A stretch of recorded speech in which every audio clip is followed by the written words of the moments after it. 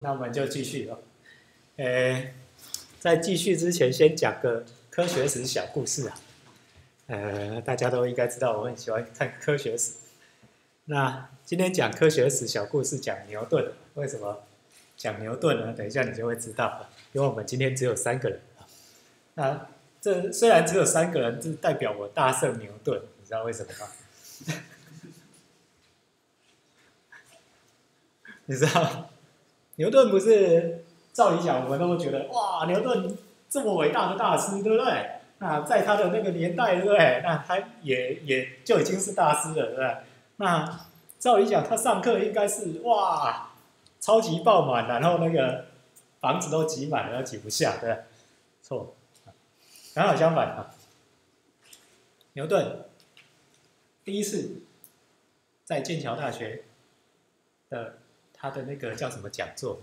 哎，上课的时候有底下有一些人，然后呢，OK，牛顿就讲讲讲完了啊，然后大家就回去了啊。第二次上课的时候，牛顿来，教室一个人都没有，然后呢，牛顿不知道该怎么办，所以呢，他就。我都领了钱，那我还是得讲课。问题是现在教室一个人都没有，我到底该怎么讲课呢？所以他就开始拿出他的那个想讲的那个，他都准备准备内容，他要开始很快的把它念完。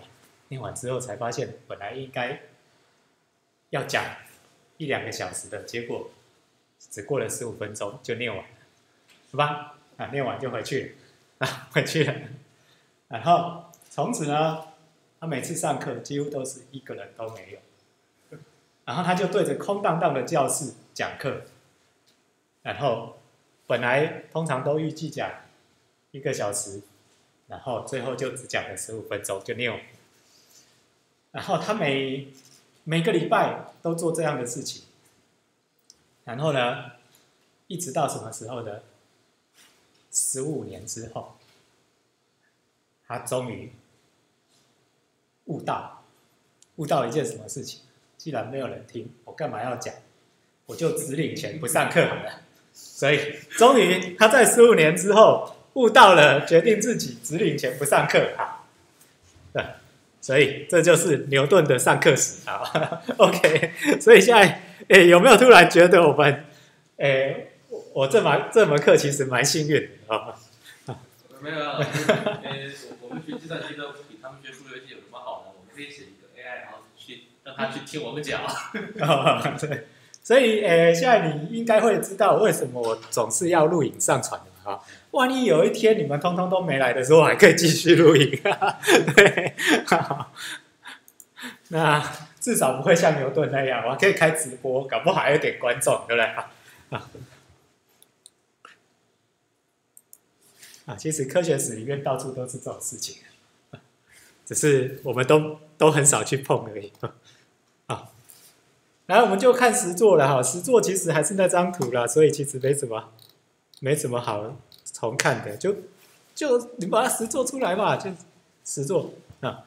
那 JavaScript 有一个特性就是它没有没有 Q 这个东西，它的函数库里面没有 Q 这种东西，没有哈，JavaScript 根本就不需要 Q，你知道吗？因为它不是 C 嘛，它不是那种很低阶的语言，它根本实作链接串列效率会很差。干嘛要用 JavaScript 的实作链接串列？它只要用它的阵列就好。那阵列它又会自动伸缩，所以你没必要一定要链接串列嘛，反正它会自动伸缩，它会自己安排嘛。啊，所以我们就用用 push 这个阵列的 push 就当成 inq。用阵列的 shift 就当成 DQ。Shift push 就是从后面加一个东西进去，shift 就是从前面拉一个东西出来。啊，如果我今天是 q 的话，那我就是从后面引 q 嘛，前面 DQ，那就会是就会是先进先先进先出啊，所以用这个就可以。好，那这里我就直接实做三个。哎，两个方法没有没有三个，DFS 深度优先和广度优先哦，因为这个问题没有没有远近啊，没有，只是要全部拜访过，并没有说谁的距离多少。有距离的你才会有最佳优先的，没有距离的就没有最佳优先。所以我这里所实做的就是深度广度。好，那你看这一个这一个图，它代表什么意思？我们现在看它的资料结构。那我们的资料结构跟写 C 可能也是长得不太一样。你看，我现在是说第一个节点，它的邻居有二五，他还没被拜访过。第二个节点，它的邻居有三四，他还没被拜访过。OK。第三个节点邻居有四五六，你看仔细对照图，应该你会知看得到那个图确实是这样。第四个节点是五六，第五个节点是六，第六个节点没有下一层的邻居了，也就是说，他走出去的来算哈，走进来的不算。走出去的二的邻二的下一个节下一层节点就只有三四啊，三的节点就有四五六，OK 哦，因为这一条这一条这一条，所以光是用这样的结构就可以表达出有向图。这个结构可可以表达出有向图，其实只要前面这一半就好，后面这一半只是在记有没有被拜访过。好，那我们这样就表达表达了刚刚那一那一张图，有没有问题？啊，这样就表达了刚刚那一张图。那一开始呢，我对图的每一个拜访过的是否拜访过，我都把它设成零。哎，奇怪，这里已经设过零了，为什么这里还要设零？因为我两次，我一次 DFS 做完，我还把它清一清掉，然后再再重用。所以如果我写成两个城市，就不用这样清了。但是我写成一个城市，所以我我得要有清的动作。好，那 DFS 呢？就刚刚各位我们已经看过的演算法，基本上写成 JavaScript，还是跟演算法几乎一样长。啊那这改改用 Q 的话，我们这一的话代表我从第一个节点开始出发，啊，它是初始节点。那这是 BFS。那你可以看到，我就先印 BFS，然后把它全部邻居设，就是那个是否拜访过设成零，然后呢开始呼叫 DFS。这个图，然后从一开始出发，从一出发，然后最后 in 换行，接下来再用 BFS 再做一遍，那你就会看到 DFS 呢，它得到的结果是一二三四五六，BFS 是一二五三四六，好，看一下为什么 DFS 是一二三四五六，看一下，一走到二，对不对？啊，二又走到三。三又走到四，四又走到五，五又走到六，好，这是 DFS。BFS 为什么是一二五？哎，是多少？一二一二五三四六。你看，一走到二，但是它不能继续走下去，因为它这一层第一层还没完，所以它会先走第一层的下一者是五，所以是一二五。接下来呢，换二再走下一层，因为二先嘛。二刚刚先，所以现在还是要先啊。然后二走下一层三，然后再走四。好，走完之后没有下一层了，对不对？那就找二的下一个节点五。像你的办公室电话一直响，响好久，然后我不知道是不是紧急事情。哦，没有关系，先不用理它。好，那五五，然后呢？呃，五有没有下一层？有，五会走六，对不对？所以是一二五三四六或四三六都有可能的哈。那我们看一下它的一二五三四六，没错。好，所以这城市上面的执行结果基本上是 OK。好，那这就是深度和广度优先搜寻。那你可以试试做最佳优先搜寻，就是把那个。路径加上距离。那你就可以视作最佳优先搜益这个当习题好吧？啊当习题啊今天的习题。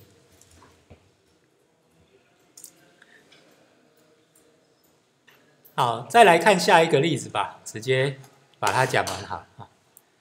继续下一个例子老鼠走迷宫。哎我们先看结果。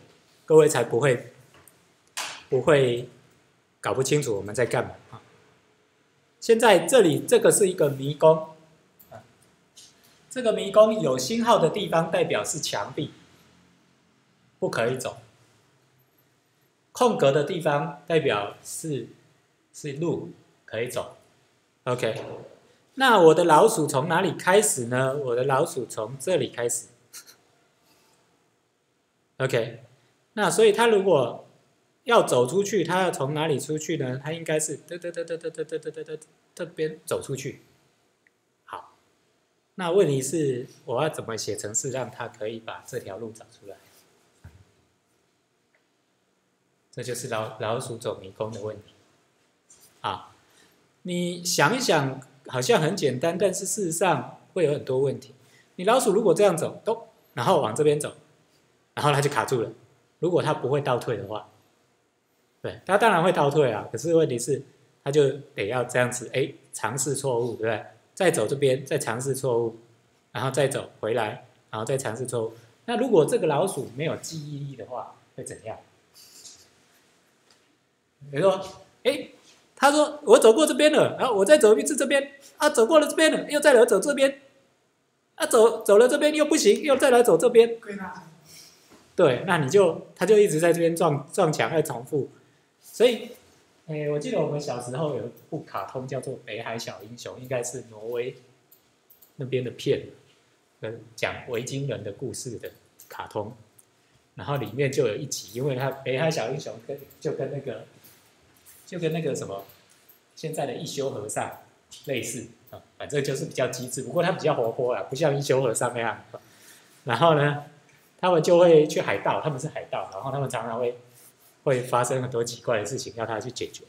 有一次他们困在一个迷宫里面，然后他们怎么走都走不出去，所有的人。然后后来那个北海小英雄叫做小薇，他就想到一个办法，因为他穿着毛衣。然后他就毛衣呢，就先做记号，然后勾住，然后让他们去走，然后走，只要走过了记地方就会有那个毛线，然后 最后他们就把透过我知道这里我走过，我就不要再走了的方式，然后最后走出来。那老鼠走迷宫差不多也是这个这个做法，基本上你发现我只要走过了，我就不要再走。那什么演算法是只要走过就不要再走？其实都可以，你只要有记住就可以，有记住不要再重复走就可以。你可以用 DFS 走，你可以用 BFS 走。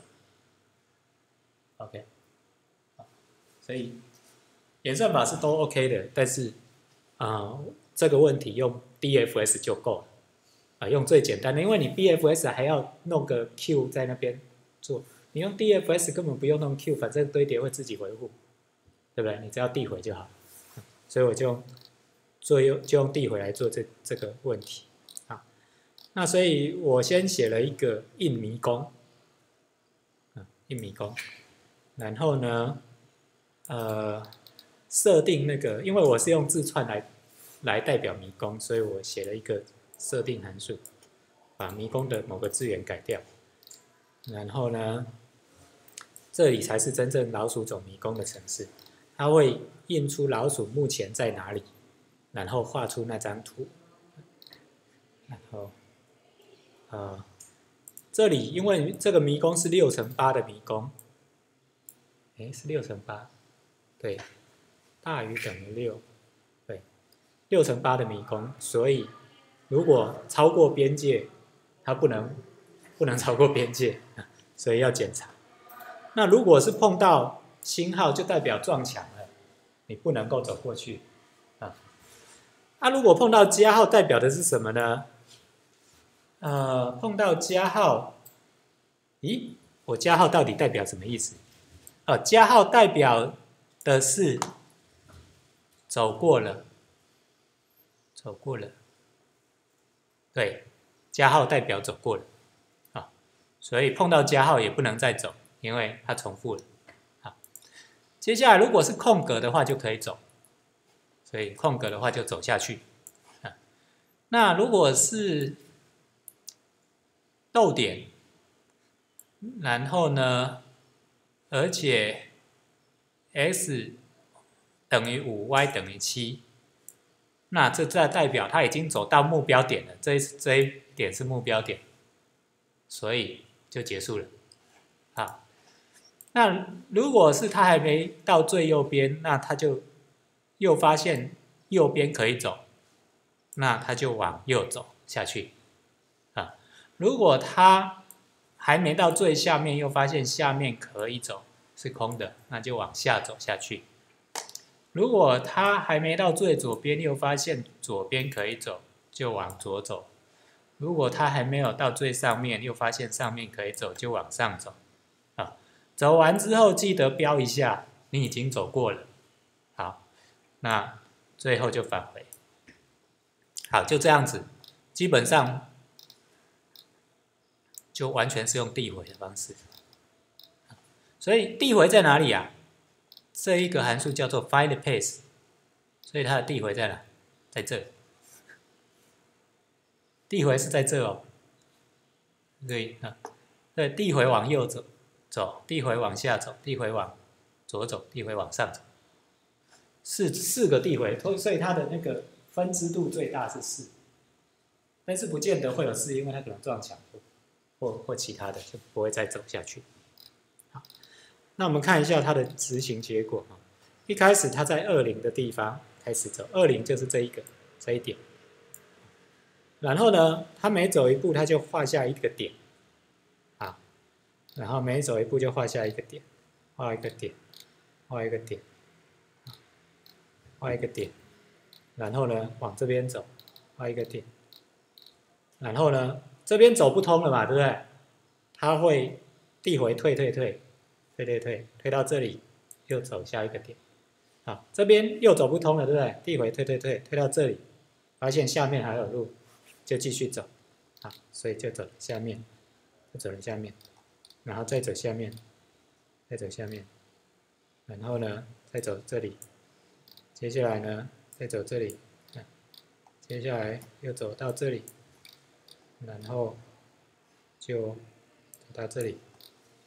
最后走出来了，好，结束，好，所以老鼠走迷宫可以用递回来实做，不会太难，好，这是深度优先搜寻的一个应用，当然你也可以改成用广度或最佳，可是老鼠的最佳，你可能也要知道目标点在哪，然后你用那个曼哈顿距离去算，或许可以，对吧？好，但是不见得最近的就一定有路。比如说，你看哦，如果今天老鼠走在这里，那你虽然曼哈顿距离看这里是不会太远，但是你到了这里会撞墙，所以你算曼哈顿距离，这里是比较短的，这里反而是比较长的。但事实上，你应该走这里才是，才是曼哈顿距离是最短的。应该不是曼哈顿，曼哈顿距离虽然是长，但是它它不会撞墙。那这个是迷宫问题啊，接下来看正则上次那个拼图问题啊，这个就是拼图问题啊，那拼图问题就是你先把它打乱，你先移移移，但是你不能乱乱排哦，你知道吗？有些拼图是拼不回来的，所以呢，如果你把那个纸都拿出来，然后就给它乱塞一下，然后说你请你把它拼回来，那不见得可以拼啊啊。啊，所以你要给人家拼图，你你如果要创建一个新棋盘，你应该怎么做？新新的拼图盘，你应该是我先把它弄成目标格式，然后我一个一个移，然后移了，比如说一百次之后它就乱。OK，那这样子你才可以给人家拼去拼，你不要弄一个没有答案的给人家去拼，然后拼死都拼不出来啊啊！好，所以我们就这样写一个。程式来解决这个问题！我目前这个是用，你看到有引 Q 就知道我应该用的是广度优先搜寻，对。那在这个问题上面，广度优先搜寻当然会有正则所说的，因为我现在做的是三乘三的棋盘，所以广度基本上还好。如果我做的是五乘五的棋盘，而且又把它弄得很乱的话，广度可能就会找很久都找不到啊。所以我现在就做了呃这样的一个程式，先看结果啊，先看结果。好，这个是我们的目标盘面。啊，我的目标盘面是希望说它的零在中间，也就是空格在中间，啊，零是空格，啊，那你以这个盘面而言，你如果要移移的话，是哪一些是合法的？我把四跟零交换是合法的，二跟零交换是合法的，八跟零交换、六跟零交换都是合法的，但是你不能把一跟零交换，它不会飞，对不对啊？所以这个，那如果是以这个起始盘面啊，这个起始盘面我我是自己去移，然后移了之后，我大概移了移了五六步之后，我再去创造出这个盘面，然后给他给他去测啊。那所以以这个起始盘面而言，你可以看到只能够二跟它交换，或七跟它交换，或六跟它交换，就只有这三种走法。那所以他会他会去搜用广度的方式。啊然后他把所有的可能性都记在 Q 里面，然后一个一个拜访。那基本上做法跟刚刚的广度演算法是一模一样的，只是你看又是找邻居，然后邻居如果可以走的话就走，然后如果走的话就把它放到 Q 里面，就这样。那这个又是排版没还好啊，啊，不过这个排版应该还可以接受了，就先不改啊。好，那就这样，然后最后。最后就启动这个广度优先搜寻，去搜。好，问题是，你如果把所有的广度优先搜寻的结果通盘面通通都印一遍，那你看到你会眼花缭乱，对不对？因为它那个很多啊，所以通常我们不是这样，我们是在你找到路之后，你再回推说最近的那一条，因为广度它会找到的就是最近那一条。你找到的第一个路，那往回推就是最近的那一条，啊，那你把把往回推的那些都记下来，那你就得到广度优先搜寻的答案。所以我这边做了一个 back trace，if found 就 back trace，啊，那 back trace 它会一直去追踪他的父亲上一层，那有有父亲的话，对，代表说我其实有继父子关系。我有继父子关系，我才会有办法找到他的父亲。那所以你看他的 back trace 的结果是这样啊，这个是这个是目标盘面，这已经是找到的结果，已经是排好的结果。OK，这个是这个是最后一步，它最后一步是把二跟零交换，啊，也就是说把把这个二移到这个空格。然后二这边就出现了一个空格，啊，那所以我们这一个结果应该不能这样看，我们应该倒过来看，我们是这样看才对。原本是一三四八二五七零六这个盘面，然后呢，他把六移到这个空格，然后就变一三四八二五七六零，然后他再把把那个五移到零这个空格，所以是变一三四八二零七六。他再把那个四移到零这个空格，所以变一三零八二四七六五。啊，他再把这个，诶，三零，诶，这个三移到零这个空格，所以变一零三八二四七六。然后再把看一下哈，这里啊，因为快到了，就是他把二移到零这个空格，所以变一二三八零四七六，完成。因为什么？一二三四五六七八，我的盘面是这样排，啊，盘面是这样，OK，所以这是最后的结果。那我们这样不太好看哦，所以我把它重排了一下，基本上是这个走法，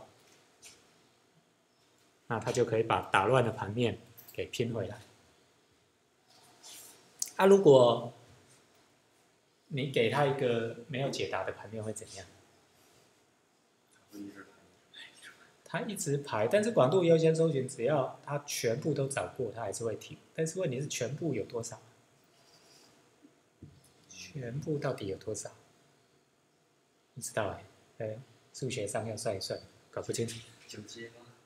全部九阶吗？可是他有一些走是不会走到的，只会用上下左右四个方向，对，然后，很难很难想啊、这个要请那个数学家或高师这种来来想才会知道，我想不出来、啊。我们写成是可以，但是我想这个想不出来。好，那就来出个习题。哎，今天就有两题习题了，对不对？第一题习题是那个刚刚的最佳最佳搜优先搜选。第二题习题是狼羊甘蓝菜过河的问题。哎，不过其实我已经给了答案了，好，所以你可以试着再写一遍。那如果没有，你至少把这个答案了解一下。我不讲解答哦，因为虽然下面有解答，我不讲解答啊。啊，那、如果你真的想不出来，你可以偷看一下解答，无所谓。那、你再去写。狼羊甘蓝菜过河问题这一这一题我不知道是谁想出来的，反正它是经典题目了哈。那就是那种如果你去参加什么 ACM 城市设计比赛啊，常常就会有这种奇怪的题目。我记得我大学的时候去参加过一次什么全国全国城市设计大赛之类的，然后是大一大学组的，然后结果呢，我们一题都没解出来，挂零。然后我们隔壁系的那个那个，我们那时候是交大资讯科学系，然后隔壁系是计算机工程系，计算机工程系的同学呢，三题都做出来，后来他们拿了第一名。两个系有什么区别吗？啊？呃，两个系有什么区别吗？就是其实就我所理解的事情是这样的，就是原本我们两个系都是计算机工程系，导师都在计算机工程系，啊后来呢就有分两派，然后呢 那个一派跟一派就觉得不太合，他就决定分家，然后就分出来要找一个新名字，就变资讯科学系。对，这样，所以是政治问题，不是那个问题啊。好，OK。所以学的会基本都一样。诶，差不多，但是因为它又叫资讯科学系，就代表说这一派是比较偏软体的啊，所以他们成立的科系就硬体的部分比较没有。哎，那、所以我大学没有受过什么硬体训练，就是因为我念的是资讯科学系那一派是偏软体的。哎，好，那不过也没也还好啦，反正反正其实我觉得学一点硬体不错啦，但是我觉得很可惜，我们系上就基本上很少这个。然后狼羊甘蓝菜的问题是这样的：有一个人带着一匹狼、一头羊、一颗甘蓝菜要过，他的船很小，每次只能够载两样东西。这一题我觉得实在不太合理。一颗甘蓝菜到底能有多大？跟狼和羊一样大吗？这有点怪怪的。不过不管怎么怪，反正我们就想象它是一个超级大甘蓝菜就对了啊。所以它只能放两个东西啊。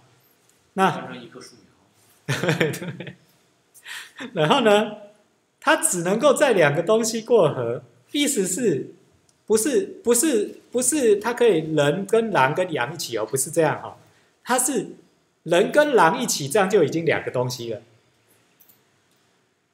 人跟羊这样也两个东西，人跟甘蓝菜，所以意思就是人只能带一个，你不能叫狼带着羊或狼带着甘蓝菜过过河嘛，对不对？不行啊。所以你最后一定要是人有跟他在一起才可以，因为其他人不会划船嘛，对不对？好，所以这里问题是，他如果先在甘蓝菜过去，那狼就会趁机把羊吃掉。那如果先把狼送过去，羊就会把菜吃掉。那怎么样子做才可以把两种动物和甘蓝菜通通都送到对岸？你要到底要跑几趟？然后要怎么送？啊，那这显然很显然就是一个搜寻问题，是刻意创造出来的搜寻问题。啊，那有点像数学题，其实这也算是一种数学题啊。你可能会在数学的脑力激荡书里面看到这种问题，但是我们现在是要写程式来解啊，所以这就是各位今天的习题。有没有觉得不清楚的地方？没有的话就可以回去写啊。那我先给各位稍微瞄一下，最后我的做法，啊，因为有些人不知道怎么表示，到底人、狼、羊和菜到底该怎么表示啊？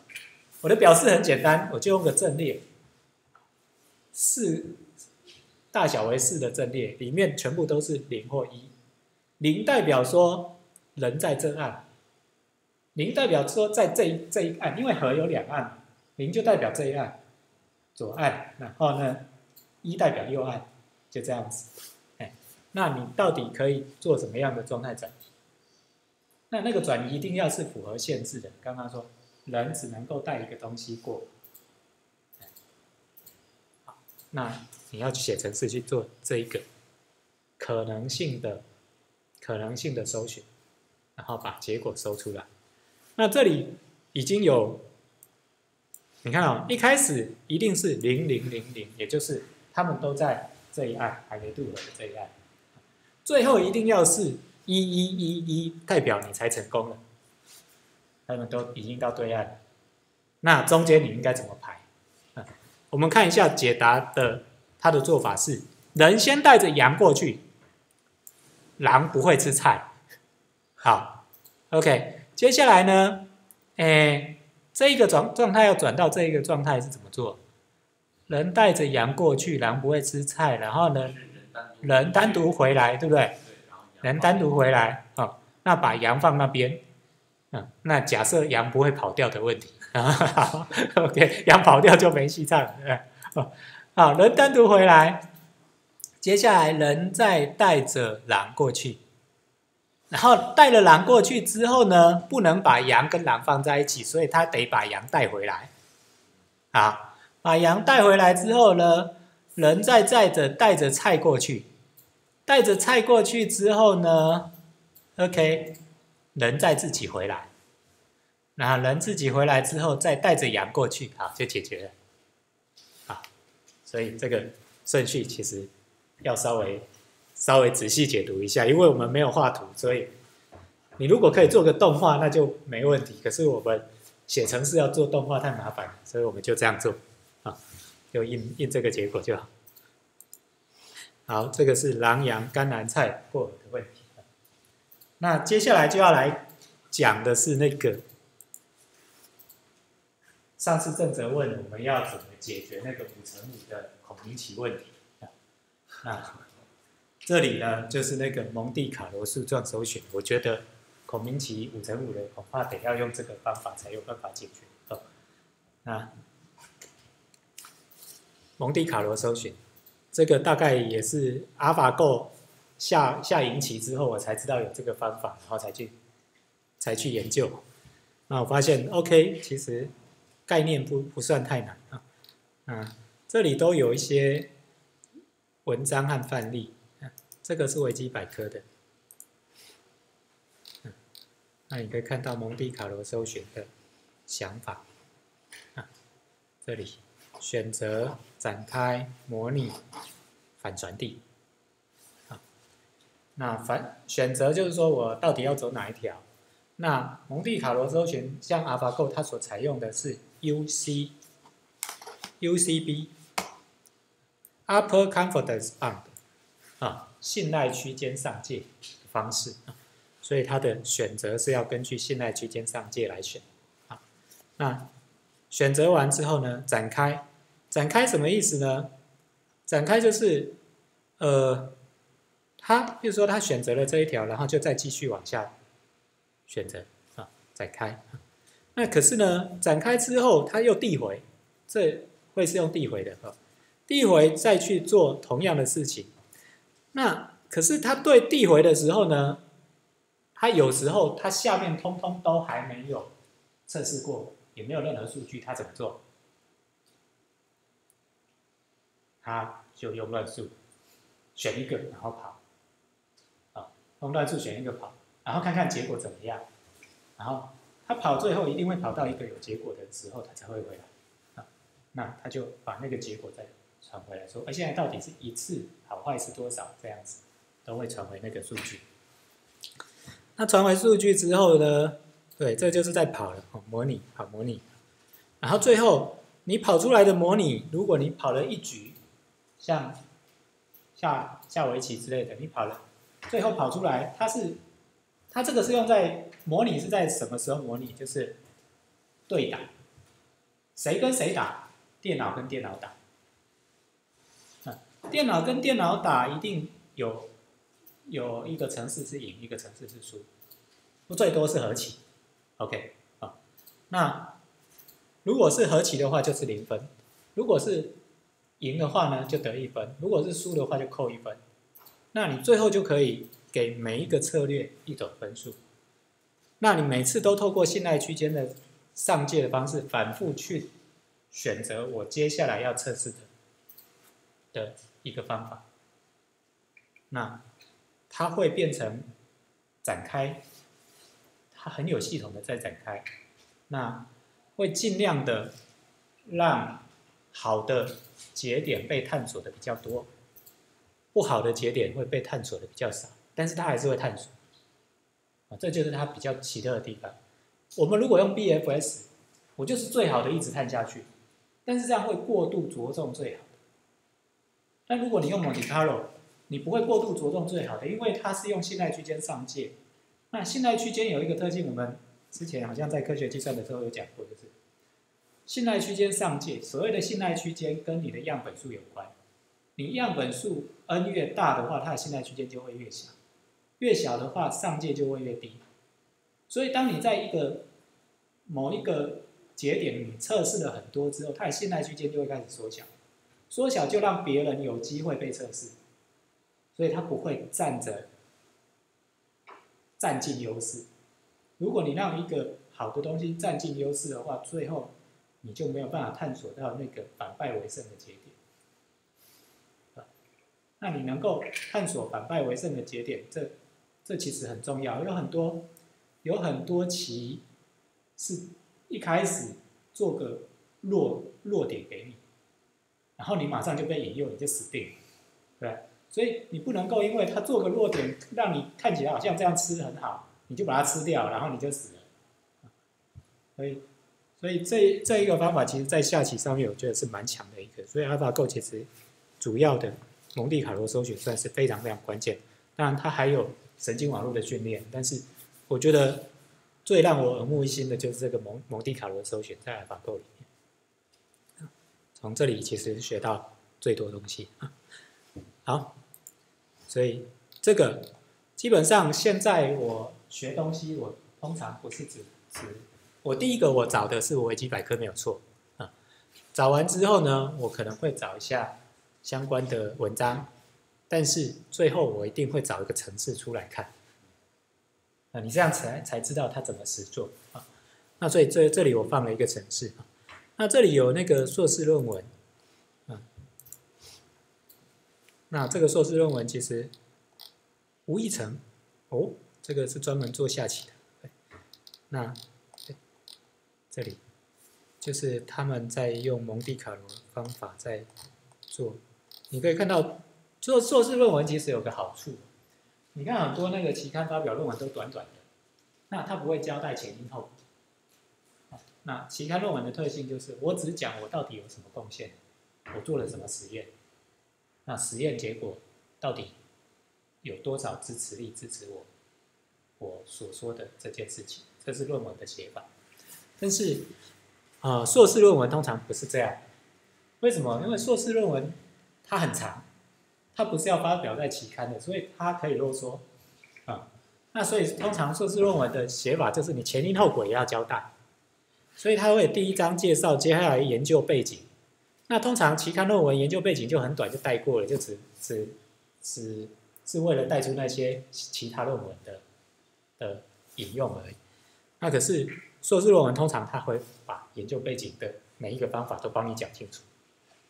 所以其实硕士论文有有它很好的地方。你如果想了解一个东西，你看硕士论文是一个很很快的切入点。OK，所以这一篇我觉得，你看他这里又要跟你讲 UCB 和 UCT。哎，其实我还不知道 UCB 和 UCT 到底有什么差别。啊，信赖区间上界啊，信赖区间 T 是什么？上界，对，这个得要看。OK，所以他这里又讲蒙蒂卡罗搜寻啊，Happy Go 版本、GNU Go 版本、Mon Go 版本，对，所以这个就讲的应该很细的，很细的，而且他们还有还有让他对战的啊，对战，所以这里其实是可以可以可以仔细看的。如果你希望更非常清楚了解这个方法的话，这篇硕士论文我觉得应该是可以把它读一遍，该会就可以很清楚的了解这种方法。硕士论文的好处就是这样。OK，这个领域你要快速了解一个领域，找硕士论文其实是不错的。反而找博士论文，有时候你看不太出来，因为博士论文的人比较会写，比较会写的结果就是他不会啰里啰嗦交代一些前因后果，所以他很多东西就放在引用里，那你就看不出来到底他的方法是什么。所以 GNU 也有一个电脑围棋工具，也是哦，它不是用蒙地卡罗的，然后这个 Mongo 是用蒙地卡，所以如果你要找找那个。城市的话，可以找这个 Mongo，我们可以搜寻一下。哎，是 Mongo 还是 Mongo 啊？有没有 N 啊？你刚刚那篇在哪？M O G O 是 Mongo，不是 Mongo。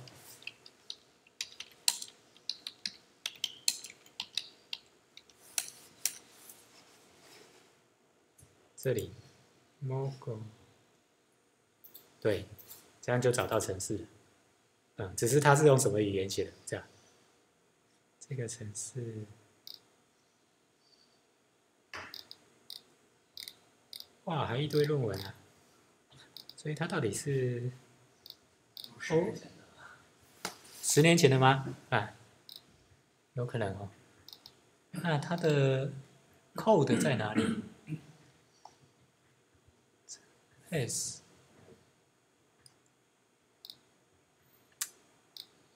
Homepage 没有看到 code 在哪里耶？这个这个对，看看不太出来耶。所以这个好，我直接找，这样直接搜就好。直接搜 GitHub。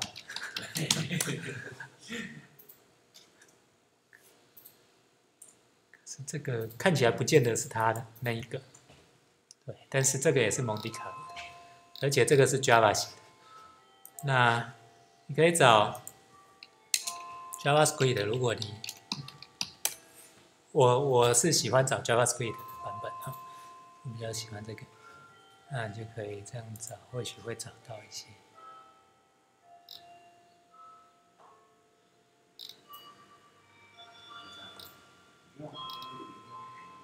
这个。这个好像不是下棋，这不是下棋。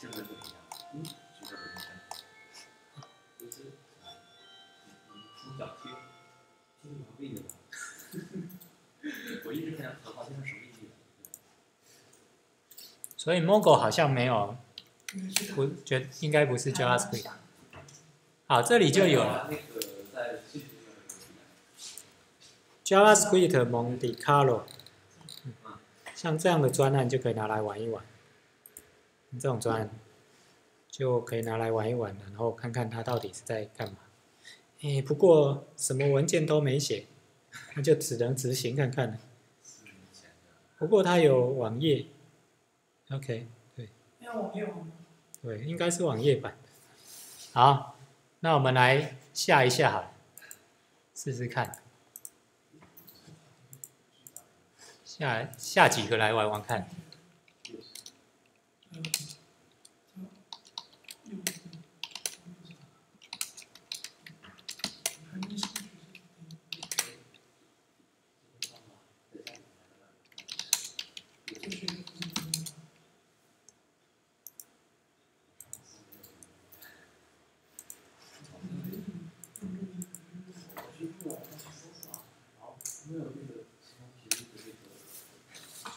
好，这样子先下一个来试试看。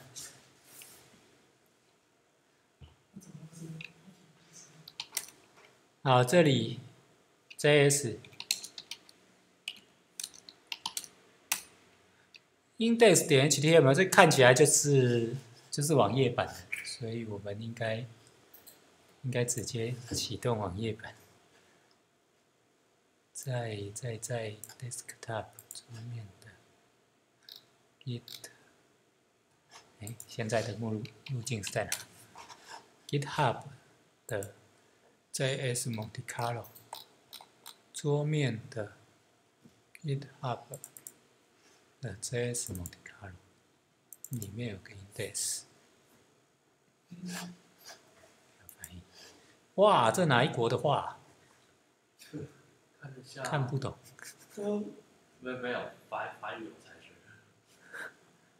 这看不懂，所以这显然不是英文版，这样很难很难执行。哦，它这里有一个这个字应该是执行，看起来就很像。他们欧洲语系的、拉丁语系的常常都长很像。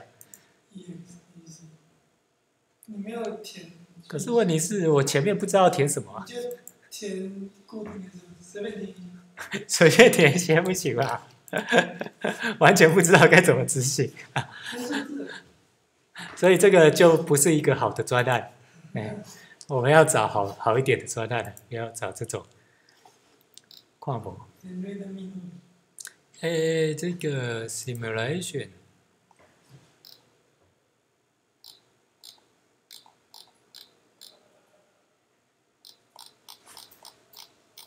这个是 dist，这个是单一支程式。好，这个就先不看好了，现在等找到好一点的再来看。休息一下吧。